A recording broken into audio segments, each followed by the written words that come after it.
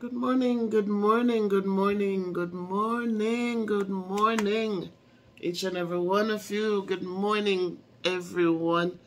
It's a new day, right? And we're here.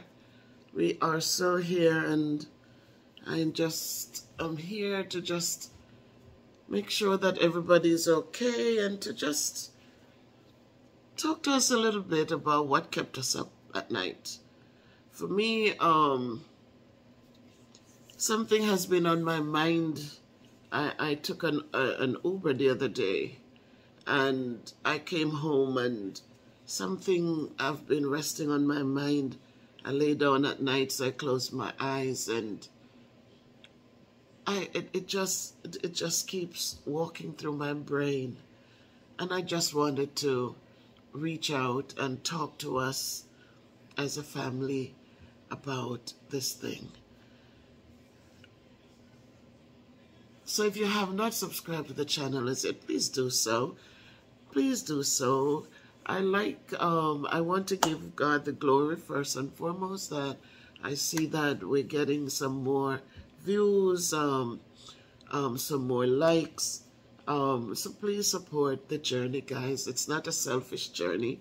It's a journey that is beneficial to many.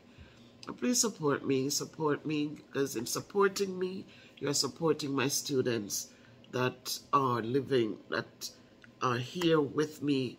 Um, my school is in a, not a well-to-do area. It, it is uh, the inner city. And we know that it's, for some in the inner cities, it is tough. It is tough. So my channel has been a channel that whatever resources come from there, it goes into the support of my grade level students, my sixth grade students. Um, so please like the video, share the video so that others, encourage your friends, your families to just, to just support me, to just subscribe to the channel and watch a video or two or more when they're able to. Um, a lot of my videos are just listening videos because as I encourage and uplift somebody. And so you share them and even one person, if you uplift one person, we are on our way. And because that's the whole idea, that you give somebody food for thought, just to remind them that they are important, to embrace who they are, and let no man steal their joy. So please support me, guys, so that we can reach others, um, and we can also support the students that I work with during the school year. I'm on summer break, thank God for that. I'm going to get some things done today, um, and I will be videotaping it. Um, so you'll see another video. Might be in the same outfit, but listen, whatever. Um, so what kept me up? And I need you in the comments to talk to me about some of the things that keep you up. Even one thing, one major thing that keeps you up at night. That it just can't go away. Ah, it's early morning. It's 10 o'clock, 10.47. I haven't gone to the kitchen yet. I went in the shower. I cleaned up my bedroom, um, put away some things got the laundry basket ready because I will be in the workspace today, hopefully. And so on my way down, I'll be bringing the hamper down to put a load in the machine so it could keep on doing its thing while I work in the workspace. So what kept me up, guys, is the fact that I went, I had something to do. I need to get to a Notary Public and I um, had to use an Uber. Once I got to the Notary Public and got the paperwork done, I then had to go on to um, uh, to get the thing dropped off for UPS. So on the trip to the UPS um, space, um, the, the the Uber that I got into, the taxi that came for me, um, a young man. He seems like a young man was driving, who was driving, um, we just started talking. We're talking about allergies and but his son, how it's so hard on the son with the allergies, and we were just talking, and he says like, for me, mine is only seasonal. It's only in the spring that I suffer from from from the allergies. But he says his son suffers right through the year. There's always something. So I was talking to him about changing the diet, you know, get rid of the dairy products, cut back on the sugars and things because all of that sugar, all the starch that we eat, it turns sugar. And and so like when you blow your nose, that no that's not you know, that's all sugar. The mucus is sugar. Um, everything we eat, that's what happens. Sugars, sugar turns mucus. When your sinuses become over, overactive, you know that those are things that you need to cut back on. So he said that he, the son eats cheese and stuff like that on his sandwich, so that's something he would be looking into. And then he looked, he said to me, and this was a guy who was skinny. It's like I would be two times him or more. I don't know. I'm not, let me not say that. But very skinny young man, very skinny person. He, he was in his 40s. Very skinny. And and you look, people, as I, I'm, I'm saying all of that, and to let you know why it kept me up. It kept me up because I'm, I'm, it's going over in my head that as he talked about um, his situation, it just shocked me because just like when we walk into spaces, people look at us and they're, they're ready to to judge us and, and, and, and cast down all manner of of sicknesses on us because we have weight on our bodies. It's the same way when we look at skinny people, we figure, oh, they are perfect, in perfect health. And so when he said to me that, yeah, he suffers from the allergies so badly, but the worst one for him is the diabetes that is just eating him up, just eating him up. And I'm looking at him and I, right away, it flashes in my head. I was saying, but you're, uh, no, I said to him, but you're not even fat. Isn't it that fat people are the ones who should get diabetes and cancer and high, high blood pressure and um, strokes and heart attacks and all of this. Because so many people, they look at people because they're skinny, they say, oh, they're so healthy. So you're saying that to me now. It, I was like, just like, he probably was looking at me in the rearview mirror because I was just so frightened when he said how badly his diabetes was. And I got out of the taxi and I got my thing done and I, I, I got on another one and got home and I'm just thanking God. I'm just thanking God. I walked into the store with the, with the package and I'm just giving God the glory. I'm just really giving God the glory. Because my people, a lot of you are on the journey with me, whether you're on the journey with me or not, whether you're overweight or not, I know you have gone somewhere. As I, re, re, re, I will restate, I will talk, tell you again. And when I moved back here from Maryland, because in Maryland they did the the MRIs and to show my shoulders, the rotator cuffs were very torn up. And they were torn up because before I went to Maryland, I used to be in the gym. I used to go to the gym. I wasn't a big, big, big, big person. So I used to be in the gym and, you know, the, the guy, the trainer loved me because he said, I never give up. I, I would just, I, I had stamina.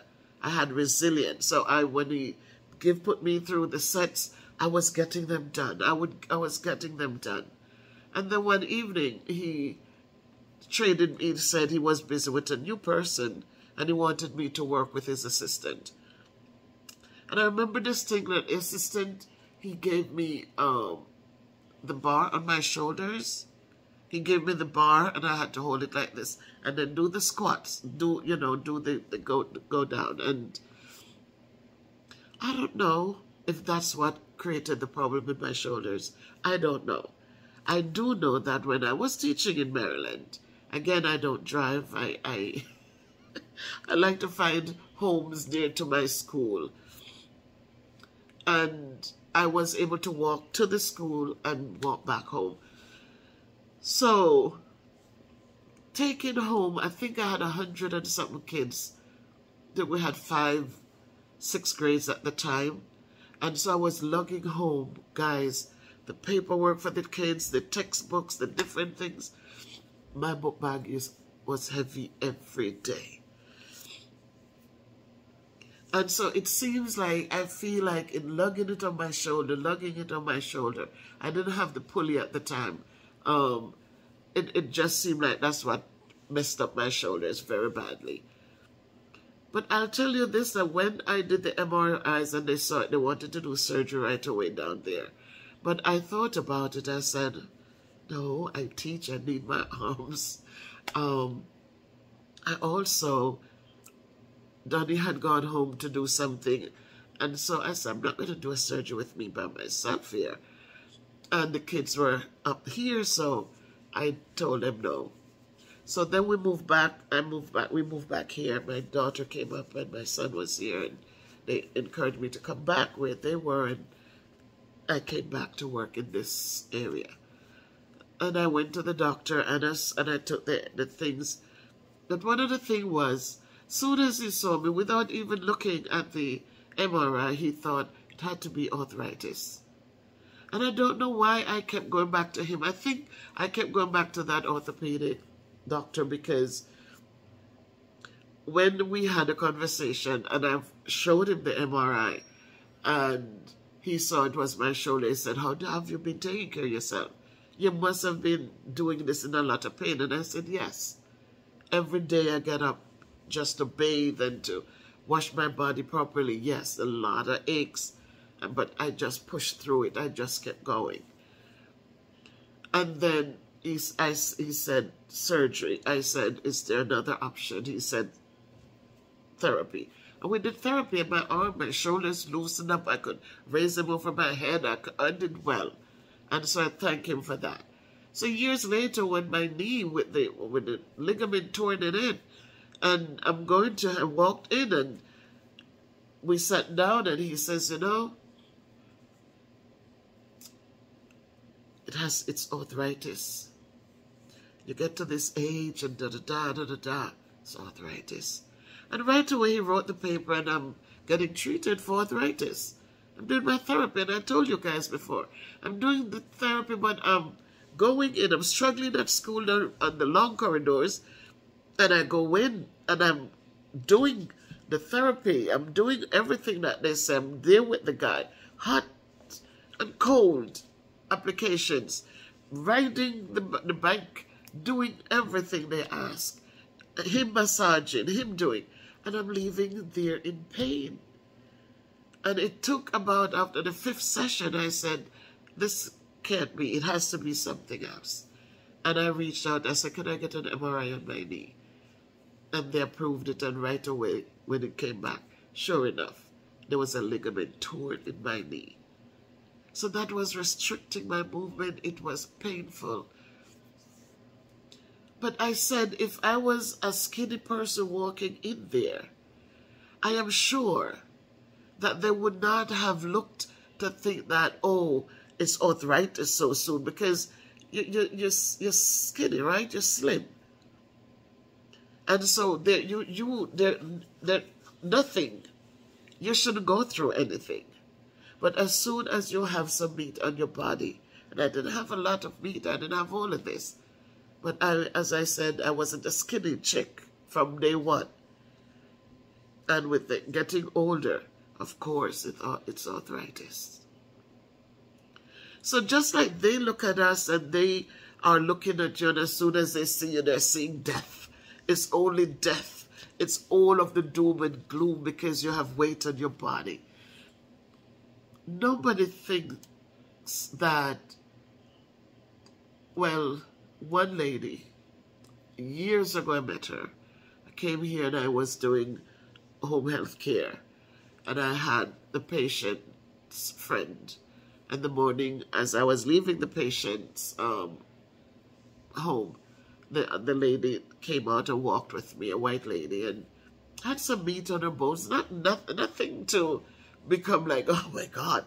But she had she, she she was not a skinny lady and as we walked out she says, People complain about being fat, but they shouldn't because I am home and my appendix burst in me. And all that poison, when I went into the murder, when I went in to the hospital, you know what the doctor told me saved me? The fat around my belly. The fat around her belly absorbed the poison from the appendix. So she was saying, it's not every time people talk about people being fat, it's a bad thing. It, it Fat is not always a bad thing. It keeps you warmer. It, you know, she was talking about all the things that fat does for the body. And so, as I went over these things in my head, her words did come back to me also. And, and to, to say, fat, being fat is not a life sentence, guys. Love yourselves. I love myself. I am so thankful that I'm doing so much. Regardless of what people think and how people thought I couldn't walk, people thought I couldn't do, I couldn't. It's just that when the weight, the, when the weight became more during the, the, the, the, the after the surgery and during COVID, and so I think because I was also stressing myself and there was a lack of movement, not enough movement. I wasn't as strong. Then I wasn't as strong. I was just sitting here not knowing what to do or how to do it. I didn't know so much because we weren't getting enough information and everybody you talked to was so afraid because the, the, the airwaves was just filled with so much doom and gloom, so much death, so much death, so much death. You look in New York City, you see the, the, the things lined up, the trucks lined up with the dead bodies upon dead bodies. And you're hearing about the thousands and thousands of death. And you're not understanding it. Is it something that just gonna come through your door, the air just blowing and you get sick and die? I didn't understand it at all. Because a lot of people are giving information didn't know themselves. A lot of people who die, I don't have proof, don't quote me on this, but I know it was because of fear. That the people who needed to take care of them, them they themselves were afraid. And so I don't think they, they, they did as much as they could. But it's what it is. We went through it and it's what it is. And what keeps me up at night, it's the, it's, it's the fact that being fat is not a death sentence. I have to, you know, it, it kept me up because this man was so skinny. And all of a sudden, I'm saying to myself, being fat is not a death sentence. Just take care of yourselves. Get up and move. Get up and walk. I think even with the driving, I think for me, I am not embracing it at all.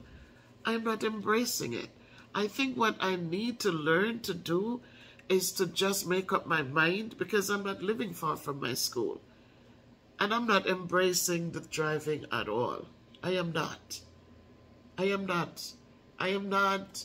You know, it's a good thing I, I, I overcome my fear, drove to my school, parked, drove around, parked, reversed, you know, drove around, came home, and, and I had support next to me. My sister was next to me.